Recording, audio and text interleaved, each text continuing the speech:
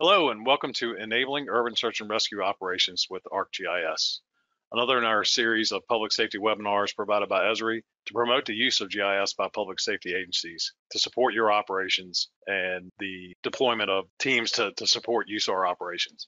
Uh, we're joined by several esteemed guests today and proud to have personnel that have decades of experience in, in urban search and rescue. And I'd like to turn it over for introductions to Paul Doherty. Paul? Hello and welcome. My name is Paul Doherty. I started my public safety career in the U.S. National Park Service uh, as a law enforcement ranger in Yosemite National Park, uh, which is where I first got involved in GIS for search and rescue. I went on to study the topic of GIS and search and rescue for my graduate work. And since then, I've worked in the private sector and nonprofit sector in both the United States and a short time in New Zealand where my passion is really helping public safety agencies adopt geospatial tools for decision making.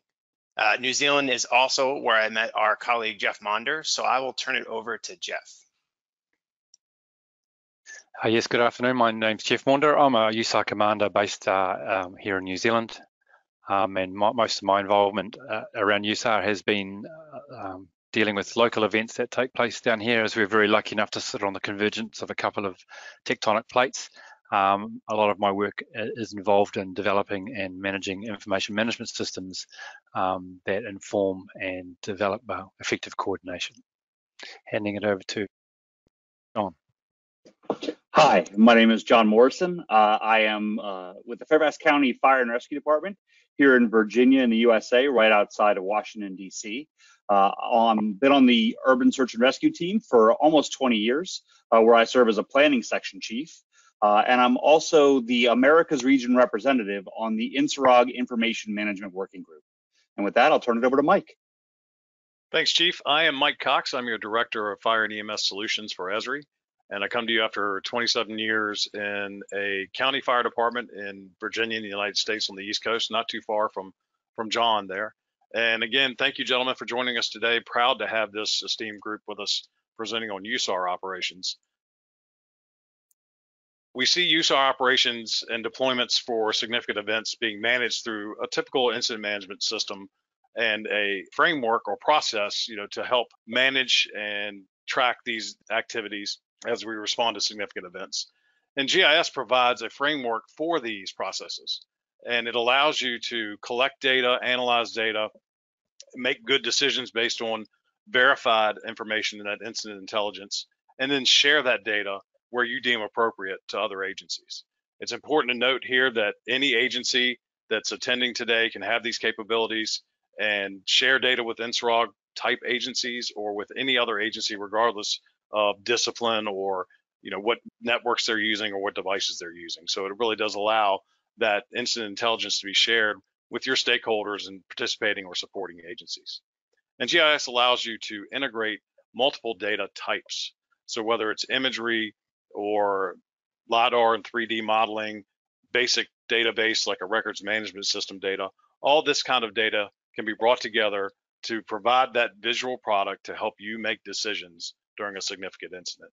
As an example, the video you're viewing here now is from the Fire Department of New York, their Special Operations Command, an exercise involving an improvised explosive device in the subway tunnel.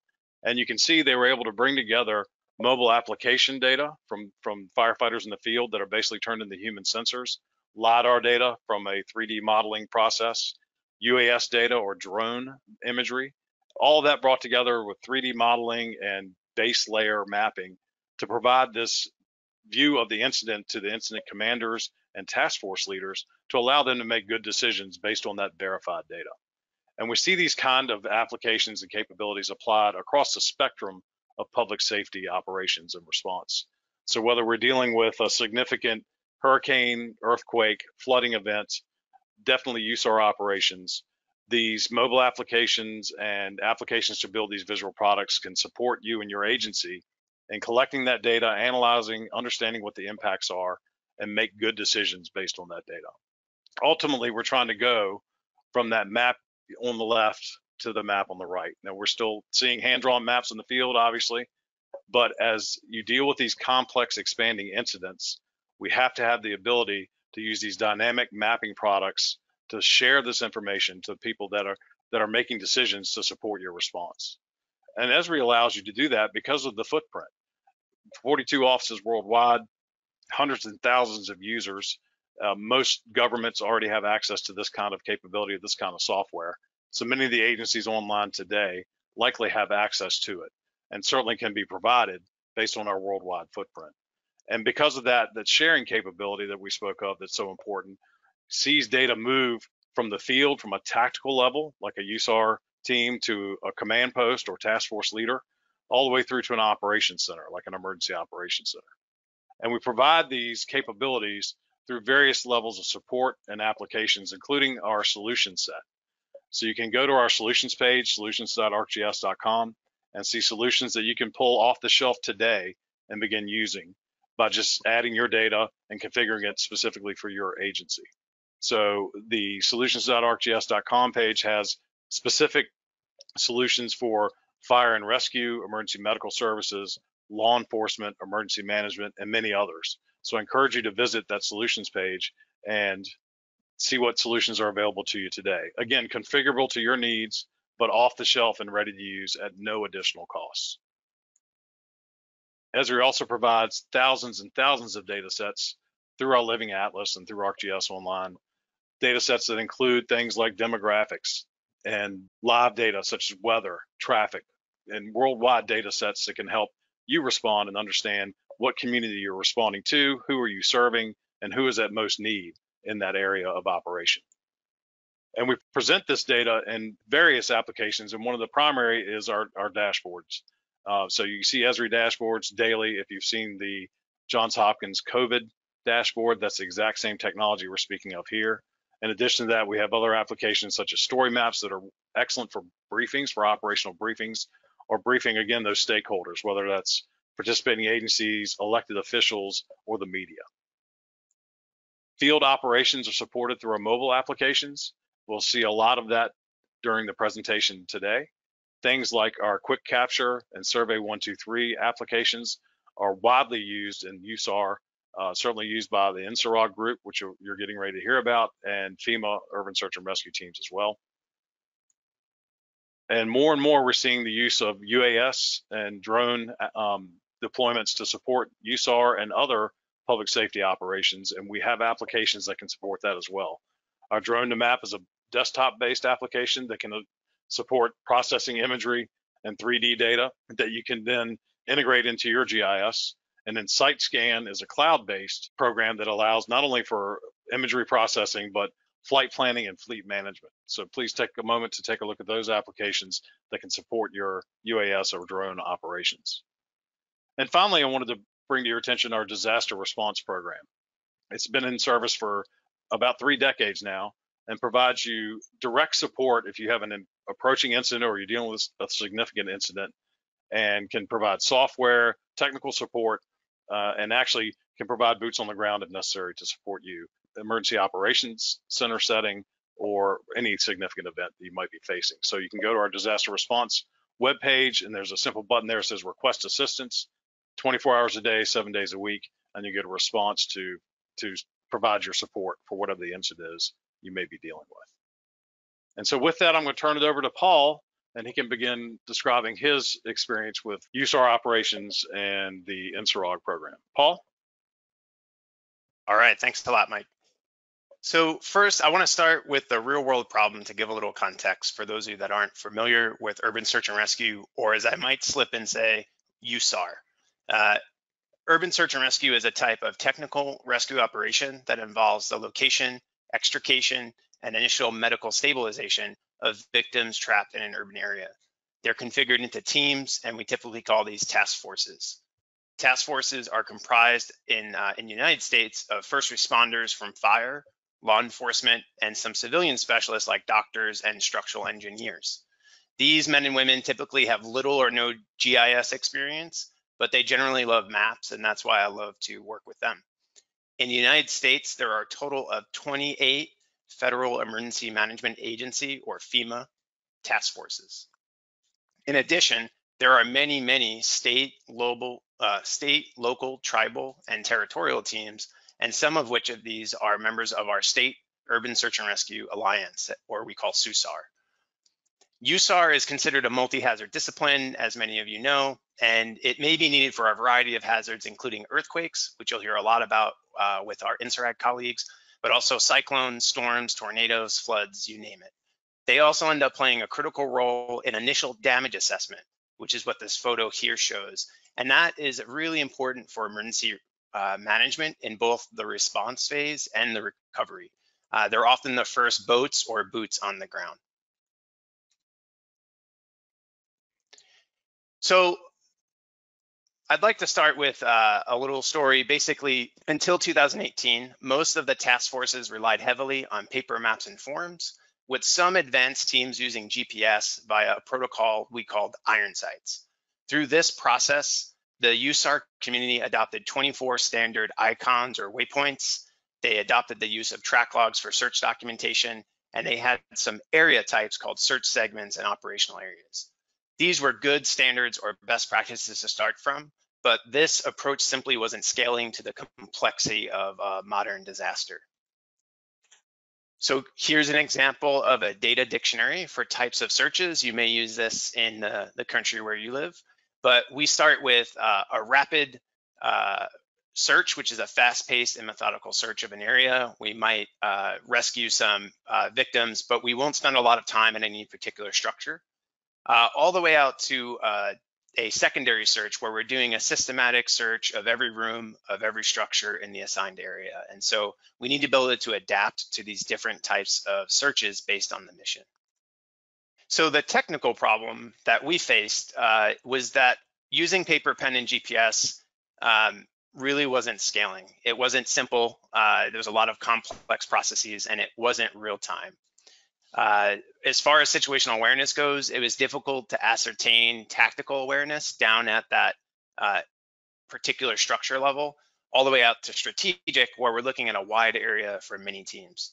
It also lacked the ability for us to map out areas and generate any types of search analytics to answer key questions like how many buildings are impacted based on models and how many remain to be searched. And then finally, um, a, a, term that's used a lot in our country is a COP, a common operating picture or platform. With the old approach, we had so many KML files and spreadsheets and limited interagency coordination, and it was nearly impossible to create this common operating picture or platform. So for increasingly complex disasters like Hurricane Harvey a number of years ago, the, the technology was not meeting the need, and there was really limited uh, geospatial coordination. So it's a big multifaceted challenge involving people, process, and technology. And by the way, uh, we don't have nearly the same amount of funding as other areas of public safety like uh, wildland fire. So this was a daunting task, but we accepted the challenge as a team of uh, a community around search and rescue. A fellowship was born, and starting uh, with Hurricane Harvey and Irma in 2017, we formed a working group across uh, several different agencies, uh, National Alliance for Public Safety GIS Foundation or NAPSIG, that SUSAR Alliance that we talked about earlier, the International Association of Fire Chiefs, and the FEMA uh, Urban Search and Rescue System. We uh, joined forces to tackle some of these technical problems and also some of the coordination problems. In uh, 2020, Hurricane Laura we collected over 60,000 waypoints uh, from both these federal or FEMA teams and the state urban search and rescue teams. And we were able to create a common operating picture. And here's just an aggregated view of uh, the data that was collected, mostly around initial damage assessment. The technical solution to this real world problem and technical problem involves uh, starting with a foundational data model. We needed to adopt the, uh, the symbols and the terminology they were using already, but then make sure we have an agile development approach to refining the tools. So as we had said, you know, you get the technology and then it has to be configured. Well, what we've done is created a solution so that uh, each search and rescue team don't need, doesn't need to develop this. For those of you that are familiar with ArcGIS, we're using a number of different apps um, to do this. We use ArcGIS Online primarily. We have a landing page where we use Experience Builder we are uh, using different combinations of field apps with quick capture being the most simple. We use Web App Builder for data editing, and we use uh, dashboards for different views of the data. But as you'll see in a moment, we keep it really simple. We send them all to one website for all this information. And uh, I think this is probably best demonstrated with a short video. I will try to uh, speak a little bit slower than usual um, because I know not everybody here is a native English speaker, so apologize if the timing is a little bit off. All right, so this year our focus is really on simplifying everything. As I said before, there's this ArcGIS Experience Builder page, and it's there to facilitate access to everything from training materials to field applications, web applications, and dashboards. This, what I'm showing you here, this red page is our sandbox where we do testing and training, um, and it's accessible to the whole community for that purpose. Depending on your role, you might be guided to different applications. For example, this battle card page takes you for uh, apps for field users. This plans page takes you to apps that are for a planning team. And then the incident support team uh, can get directed to other links specific uh, to them.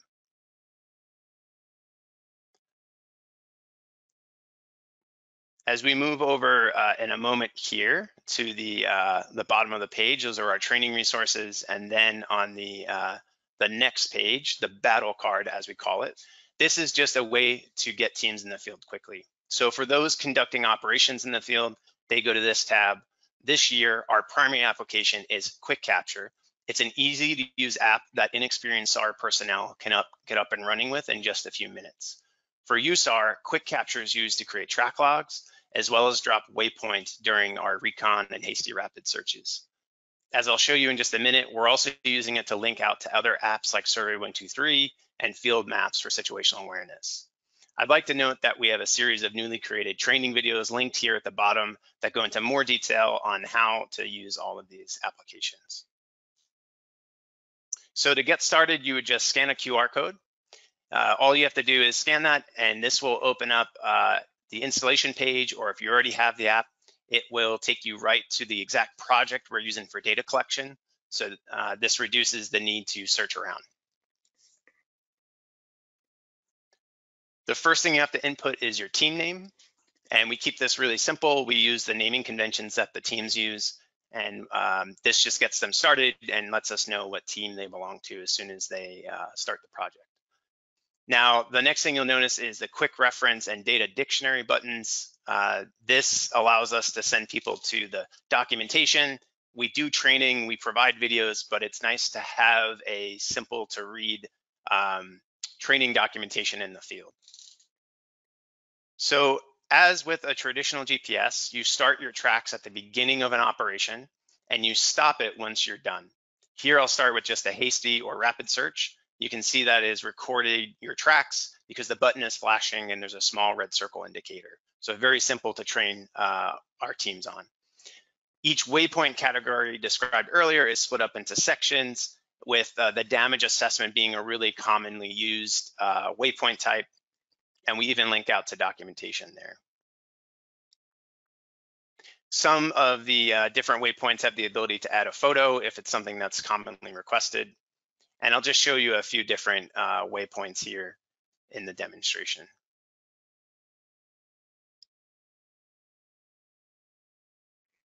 So in this case, I'm just adding some damage comments to, uh, to a waypoint.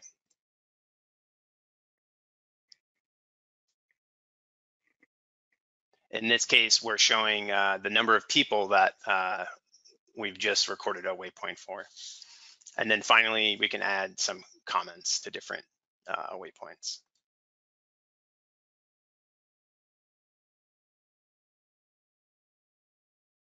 So finally, uh, it's really important. This app will use your GPS by default, but sometimes you're observing a structure and you need to use, you need to move the location so that it matches the observation in the field. And this is just a really simple way to, to do that. So it goes beyond just using your own GPS location. Finally, you have the ability to link out to other companion applications. We sometimes use Survey123 or uh, field maps. If I click this button, it's gonna download the exact form they need for the incident, and I'm able to uh, use Survey123 to add more detailed information when it's required. Uh, so Survey123 is a great, great app for doing that.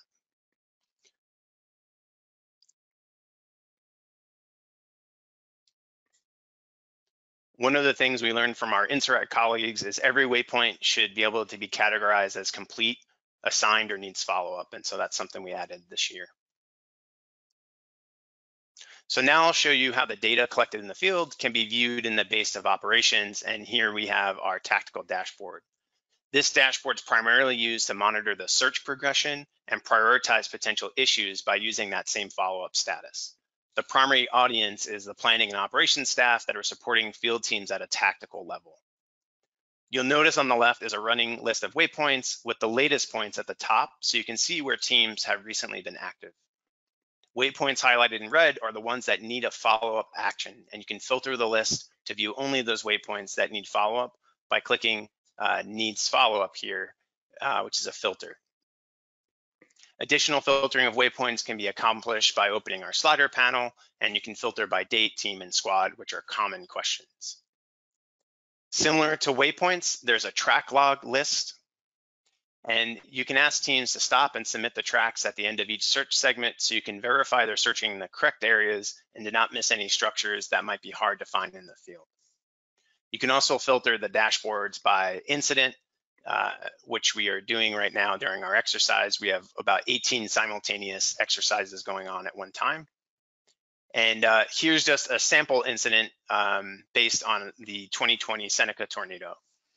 After we choose this particular incident, you can click on the search segments within that incident to dig a little deeper, you can click on one of these segments to see what its status is, but as well, we can also see the number of uh, buildings in that area. And that allows us uh, to kind of track status, how many waypoints have we collected versus the number of buildings. This, es this estimate can also be used to estimate the number of uh, human hours that's required to complete the segment. So it's some uh, analytics that can be derived from the segment. So now you have a quick preview into how the, the whole uh, solution fits together. Um, this was based off of after action reviews and um, multiple different incidents and trainings. So um, what's really important is we developed a technical solution, but we really needed to develop a people first solution. Uh, much like other coordinating bodies in the United States, like our National Wildfire Coordination Group, we needed to formally engage agencies and encourage them to adopt this standardized approach. We're working together to support a national SAR geospatial coordination group, and this group also plans to engage directly with the International Search and Rescue Advisory Group, or INSARAG. Next, we want to make sure that FEMA's 28 task forces are fully interoperable with state and local teams. And for this, we're using ArcGIS Hub and partnered collaboration to help centralize or federate field data collection for large-scale disasters. Uh, this is modeled off of how the wildland fire community works. For those agencies that feel they must host their own platform, we also intend to create a solution kit. Uh, so for those of you outside the United States, uh, this should be a good opportunity to get a jump start in setting something similar up uh, so you don't have to start from scratch. And then finally, there's a constant demand to simplify the experience for the field users. Um, so we're always testing new technology like Jupyter notebooks for pre-populating ICS forms or incident command structure forms. And we're prototyping workflows for integrating with other messaging platforms like Microsoft Teams and Telegram and others. We are testing uh, ArcGIS has a tracker for real-time last known position of teams, and we're also investigating ArcGIS Velocity for integration we are working really hard behind the scenes to make it simple for the firefighters, and that involves scoping out a lot, a lot of different technology. Uh, we currently have an exercise, and like I said, there's over 18 uh, different field exercises going on concurrently, um, and we're using this as an opportunity to prepare for hurricane season. Uh, I'm sure many of you can relate. COVID-19 really drew down a lot of resources and prevented in-person trainings. But with this system, we can participate in exercises remotely, which is a real game changer for the community. All right, and I'll wrap up here. More importantly, uh, what's next for you? If you want to get involved or test out some of the apps, you can see the sandbox and training videos, uh, which are linked in the slides. And just remember that that sandbox is for training only, not for responses. Uh, we need to set up your own deployment solution uh, for actual deployments. And then what's really important is uh, the resources on this particular page, the SAR GIS page, Uh, there are resources on this page, not just for urban search and rescue, which we talked about today, but also missing person search operations and more traditional wildland technical rescue, which we didn't get into today, but these are great resources to have. And then finally, if you're based in North America, you can sign up for our uh, search and rescue GIS interest list. Uh, this is a group that meets uh, monthly, um, once a month on a Hangout call, and uh, we share tech updates there, and it's been really helpful. But ultimately, it's up to you and your agency to train and exercise. Even better if you can integrate some of these tools into your daily operations, uh, because like we say, train like you fight and fight like you train. So with that, I'm pleased that you'll hear from our partners from INSARAG, uh, International Search and Rescue Advisory Group, who use really similar technology adapted for their workflows. So over to you, Jeff. Good evening or afternoon, folks. Um, my name's Jeff Maunder. I'm a USAR Commander for Fire and Emergency and also the co-chair of the INSARAG um, Information Management Working Group, along with John Morrison. Uh, we're both part of the team that designed and developed um, what we call ICMS or the INSARAG um, Coordination and Management System. So John, if you just want to introduce yourself again. Yep, my name is John Morrison again from Fairfax County, Virginia in the United States. Uh, and I am the Americas region representative on the INSARAG Information Management Working Group. Jeff? Roger that. So we, we use lots of acronyms in uh, all of our day-to-day -day work, and especially in the UN. So INSARAG is an internet is the um, International Search and Rescue Advisory Group, um, which is a global network of some 90 countries and 60 USAR teams. Um, the whole pur purpose of INSARAG is to develop and um, articulate uh, standards for international urban search and rescue, um, especially around coordination and the methodologies that we use for uh, earthquake responses uh, historically, but INSARAG itself is moving into a much more flexible response model as, as we go along. I guess the why for INSARAG is because uh, coordination saves lives and within the ICMS context for the Information Management Working Group, it's about um, more effective coordination is likely to save more lives. INSARAG in its own way uh, provides an opportunity and a structure that allows us to develop um, and deliver uh, uh, enhancing capabilities of which our ICMS is but one. So the history um, for for us um, and and it's quite important that the history is recognised because it's it's the, the system itself is a combination of, of history. So pre 2020, uh, as Paul talked about, um, paper-based systems were all there was, very difficult to share, um, and lots of duplication of effort. Um, really good examples for us were in New Zealand with the Christchurch earthquake, where often we had buildings being assessed five to, five to six times because information was lost. 2010 saw the introduction of a standardized form set, um, which then allowed um, you know, a common, common data set to be created. 2015, uh, a project was created around using an open source capability called Kobo, which was the beginning of our digitization of data collection. 2017, a momentous occasion, the INSARAG Information Management Working Group was established, which brought together a, a range of interest, interested parties and countries um, for uh, the development of, of, this type of capability. And in 2020, our ArcGIS for collection, analysis, and reporting system was deployed into the INSARAG environment. So if we, um, if we if part of that history was a project that was based on a, a Kobo toolbox. One of the challenges for us around um, Kobo toolbox was that it was open source and it ended up being quite limited for us, but it did a number of very important uh, precursors for the development ICMS, which is in that it introduced um, mobility solutions and kind of indicated what was possible. Uh, our colleague Peter Wolf from Germany spent a couple of years trying to to make it work, but ultimately it wasn't really suited to the long-term needs of a very complex sudden onset disaster type emergency and the requirements for us of what we wanted from that piece of capability or the piece of software, it was never going to be able to do that.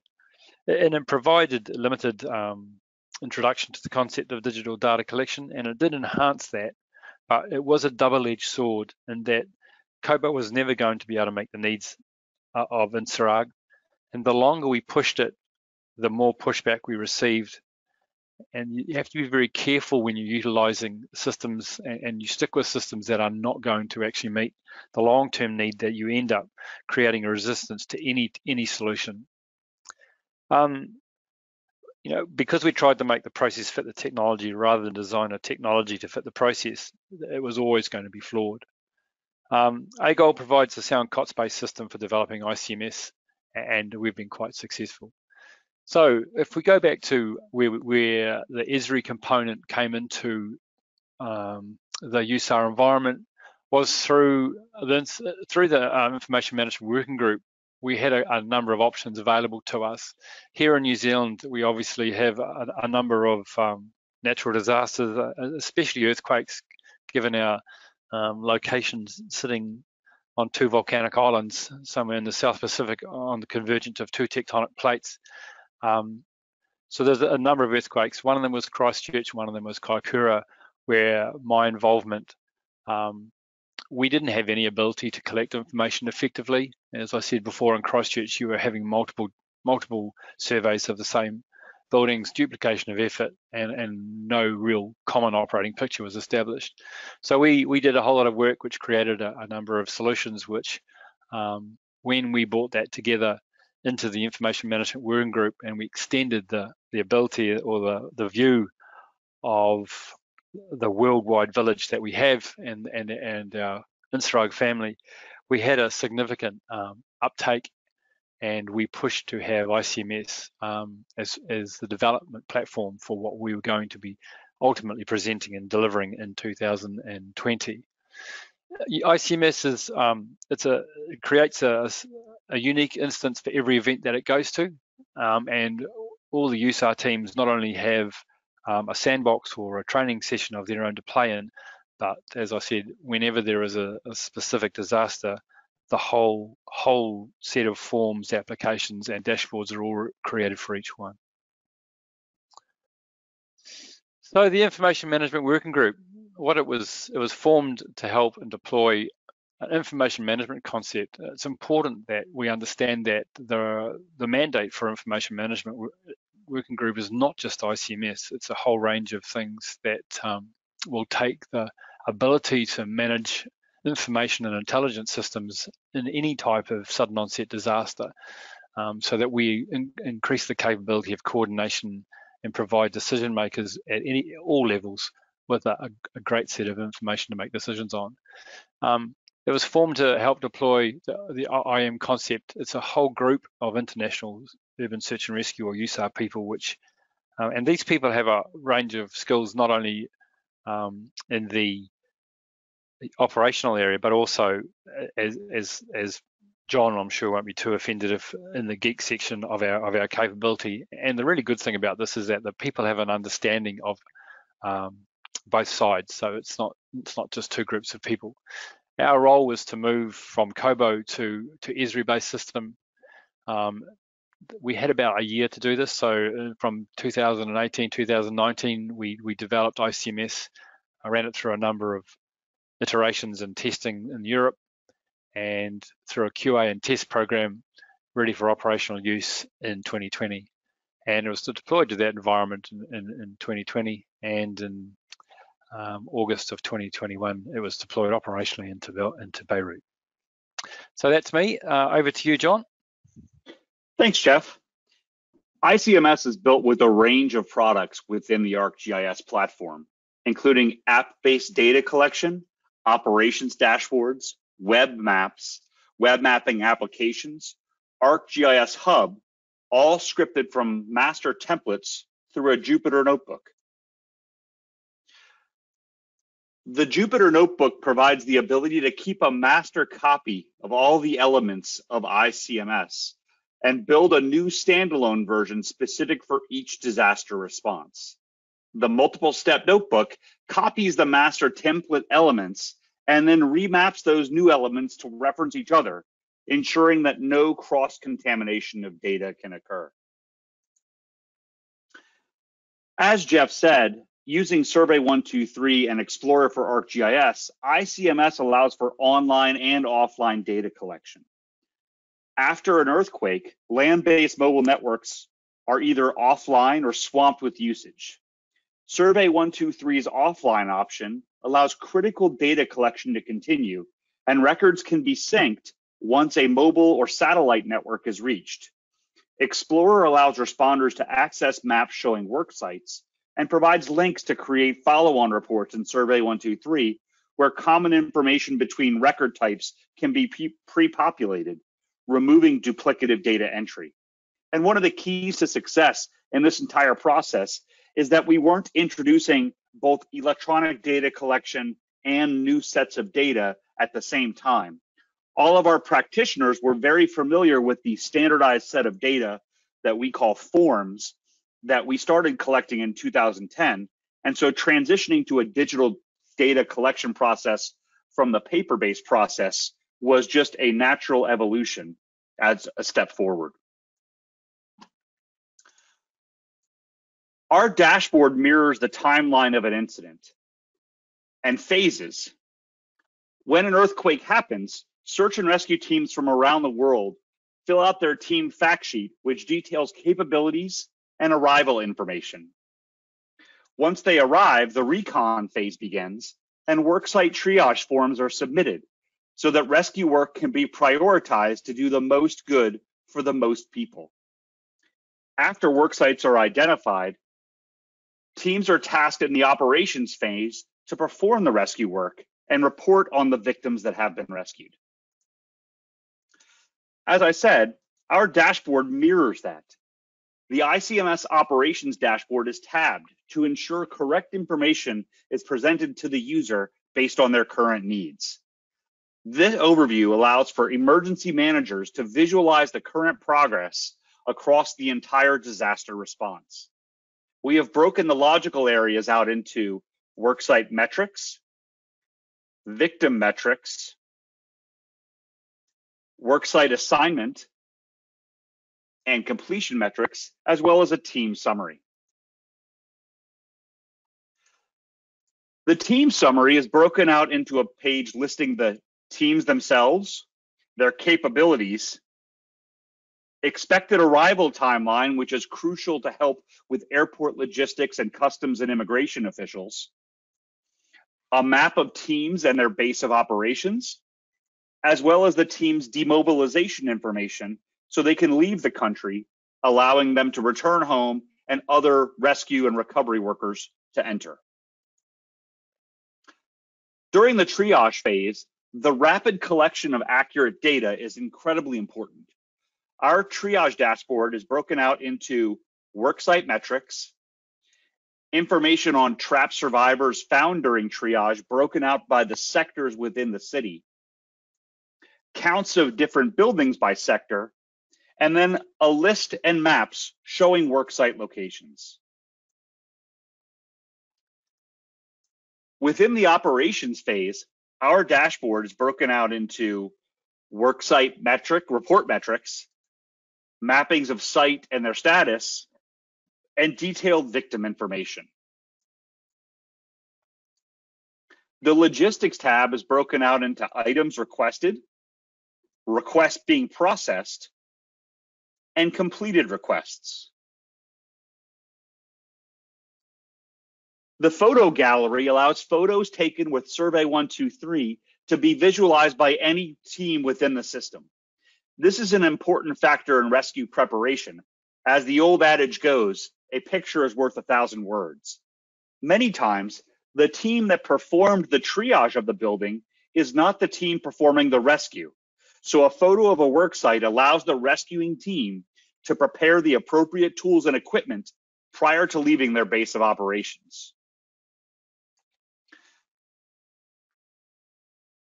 Custom web mapping applications provide teams the ability to sectorize city into smaller areas and allows search and rescue teams to review and approve field submitted reports prior to visualization on a dashboard. One of the most important findings through our development cycles was that decisions were being made by incident coordinators based on invalid information. As Mike said, we want to make good decisions faster, but we don't want to make bad decisions faster. By adding a team approval flag to our Survey 123 forms, we ensured that quality control was in place before records appeared on the dashboard for action. A small counter shows the number of records awaiting quality assurance review and highlighted those waiting more than three hours to ensure they were not overlooked. Tests and trials and feedback are critical to the success of our system. Success is by no means a straight line from concept to execution to completion, and the development of ICMS is no different.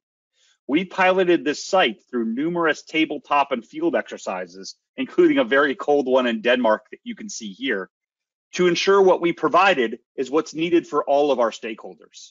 Requests for change and feedback were brought back to the Information Management Working Group, estimated for effort, and then prioritized for development. And with that, I'll turn it over to Jeff to talk about how ICMS was operationalized. Right. So after all of the work that was done over the that period of time, but it was from New Zealand to INSARAG deployment in just over a year, and uh, the trial and effort that went through um, by everybody basically de de delivered a, a, a, system that we're very very proud of. It was tested within all our different working groups, but it's the full scale exercise, which was about minus 10, which for those of us that don't live in that type of environment was was was interesting. Um, and as a result of, of the feedback from Tinglev and, and the Netherlands who provided, who, who were brave enough to be our guinea pigs for the testing for their reclassification, we presented the outcomes and proposals to the team leaders meeting in Santiago in 2019. Um, deployed, deployed into the environment around about March, um, virtual training um, because of the COVID-19 pandemic we, we had to be a bit creative and we developed a whole range of virtual training sessions for, for everybody. And then along came the port explosion in Beirut of August 2020, of which ICMS was delivered for its first time into an environment that, it, to be fair, it wasn't actually designed for. It was it was an earthquake response um, system, um, but we're very pleased that it adapted really, really nicely. So what, what's key um, was that um, we, have been a little bit of a, the victim of our own success, especially from uh, from Beirut, where a sig significant amount of feedback that's come back to us is around about how we can collaborate across the different UN agencies. And, and in the case of an, an earthquake or INSARAG responses, how do we how do we share this information um, with other people um, who are not using the same system? So Paul and I are working on that, how we how we link the US and INSARAG systems together um, should should that event occur one of the key things around Beirut was was the potential for collaboration and how that will fully realize the potential of, of these type of systems. So ICMS is only a single um, example of, of a end-to-end system that uh, are adaptable, uh, collaborative, and focused on the outputs. You know, delivering key intelligence to the right people at the right place at the right time to ensure that the decision making of coordination and coordination efforts are the best it can be in environments which are which are very typically short on good information. So where to next is a good question. Um, many of the outcomes from uh, the the Beirut uh, explosion showed us that um, collaboration is a key is a key focus across um, the different agencies that sit within the UN. Um, UAS or, or, drone outputs provide significant enhancements to situational awareness and is a growing piece of technology that that we are very keen to um, put into ICMS, both in mapping as well as as you've seen examples before, um, utilizing uh, 3D imagery that gives teams and coordinating coordinators a really good understanding of where people are going. Um, ICMS is focused on our higher level coordination efforts um, with UCC or USAR coordination So Our next stages will see uh, a more granular approach to mod and module that provides the, the teams with a coordination, monitoring, and tasking tool, um, potentially within Tracker and Workforce. And then how do we collect the additional inf information and additional um, that we can share across agencies and platforms without overburdening our USAR teams as they work on their primary missions. Um, and as I said before, one of our key key challenges will be is how do we link INSARAG uh, based intelligence um, into local intelligence uh, sections. So that that's about it. That's about it from us. I do apologise if the my, my, my terminology may be have been a little bit different, but um, if I just hand it back to to Mike now, um, and thank you very much. Thank you, Commander, and thanks to the entire panel for that very comprehensive presentation on a, on an excellent solution to a, a significant problem, obviously. Um, so we've got a few questions, and I want to, to remind the audience that if you have any questions, there's a chat function in the GoToWebinar panel. So please enter your questions there, and if we don't get to them today, we'll certainly respond by email or um, connect with you after the webinar. And you'll also be receiving a email including a link to the recording and links to some of the resources we discussed today. So you'll have access to that information as well. Um, so first question, I'm going to go back to you, Jeff. You know, you mentioned, and I thought it was very eloquently put. You mentioned, you know, trying to to change a process to fit a technology versus adopting the technology to the process. Were there any other or significant issues or obstacles you faced, particularly with, you know, the wide range of, of countries and regions you're implementing the solution. Were there any other obstacles you ran into or, or, or gotchas maybe you can tell the audience to be prepared for?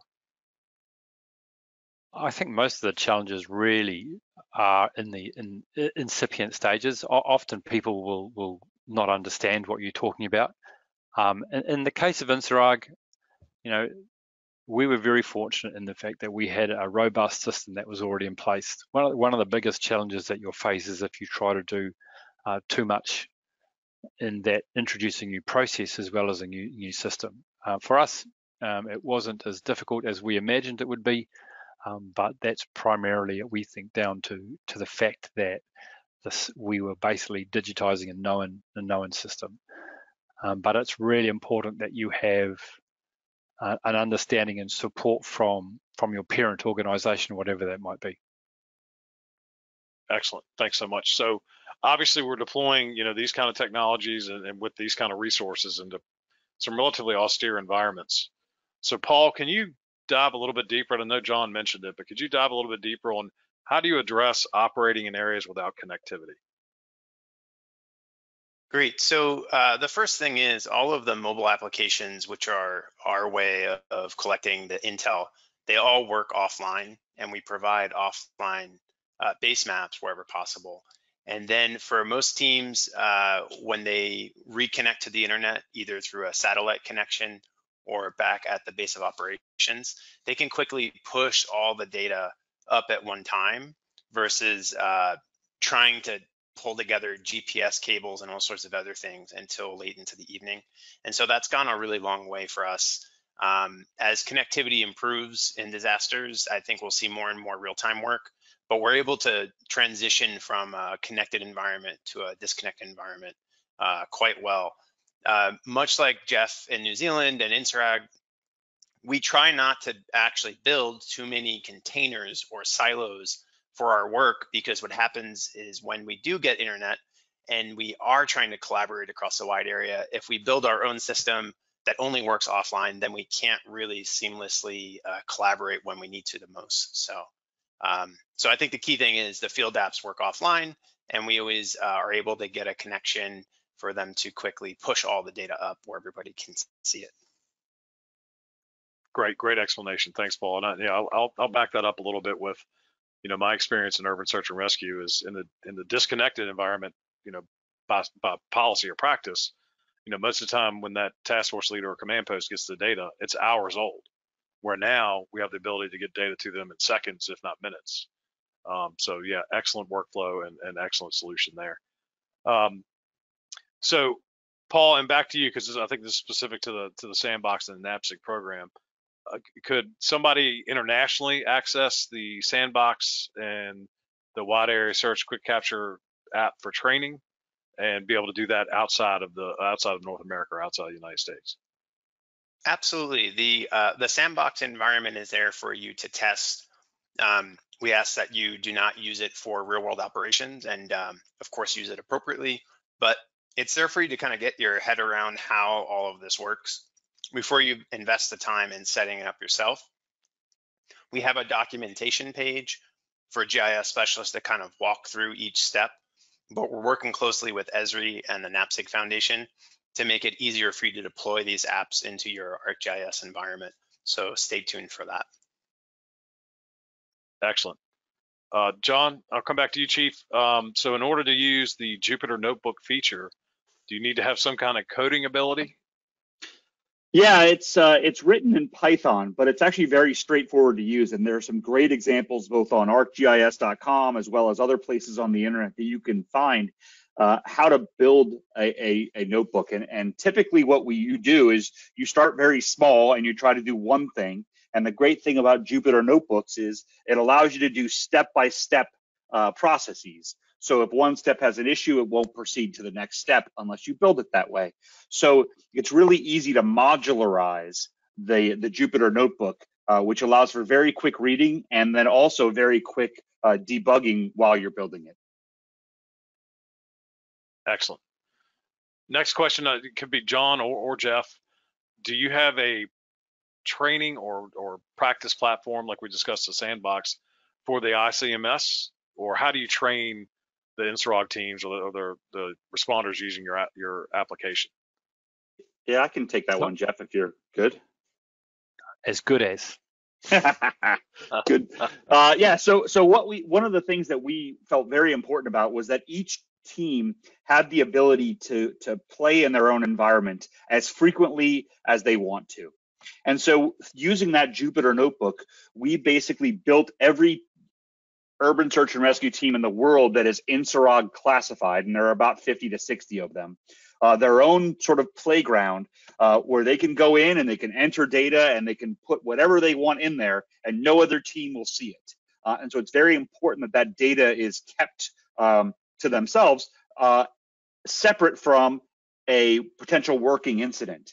And then when we have things like regional exercises or um, big trainings, what we'll do is we'll build a whole another set of forms, a, a new ICMS version for that particular earthquake response exercise, for example.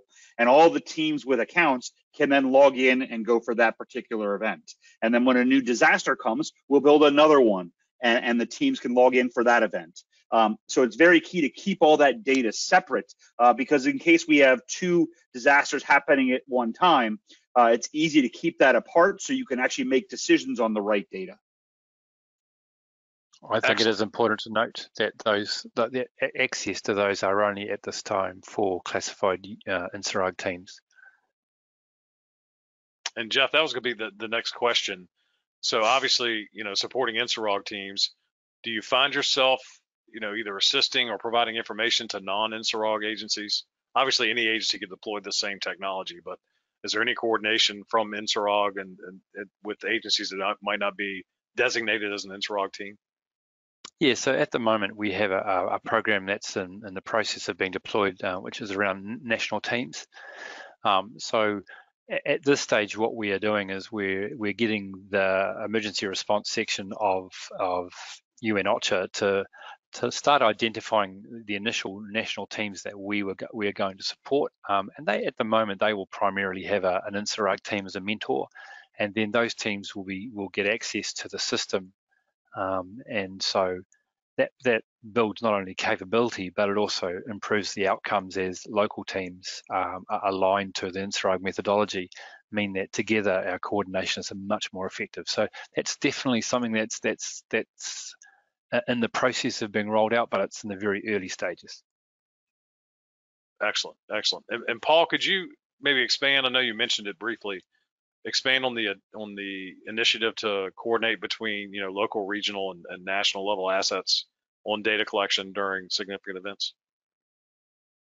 Yeah, one of the reasons that uh, we find it really important that the, we coordinate from local all the way up to federal is that the disasters are growing increasingly complex. And if we're able to share our observations in the field, um, I think uh, Jeff or John presented a great example of just showing the photos of the damage. Uh, that reduces the duplication of effort as we move from response to recovery. Um, so it helps in response to make sure we don't double cover areas uh, between the different agencies because I don't know about your country, but sometimes agencies don't do a great job of communicating. But the maps will communicate for you and tell you where people have already been. But all the way out, not just from search and rescue, but into the later phases, uh, where in the United States, in order to get reimbursed for the the damage, um, you have to show evidence of the damage. And since search and rescue are often the first boots on the ground, um, these these photos and the other information really uh, can jumpstart the process to get people back in their homes if their host their home is standing, or to begin the recovery process if they need to uh, move on to another area because they've lost their home. So really important that we collaborate across all the different agencies, and maps are great at doing that. Excellent point. Thanks, Paul. And I want to again extend uh, extend my thanks to Paul, John, and Jeff for the excellent presentation. Um, you will be receiving um, an email with the links like you see on the screen now, these resources, along with a link to the record recording of the webinar, which you can then share with those that maybe didn't make it today that need to see this webinar. That's how important it is. Um, also, please put on your calendar, we have an additional webinar on June 9th um, aimed at incident management, incident management teams, and disaster preparedness. It's the fourth in a four-part series, and you can go to our webinar page and see the first three.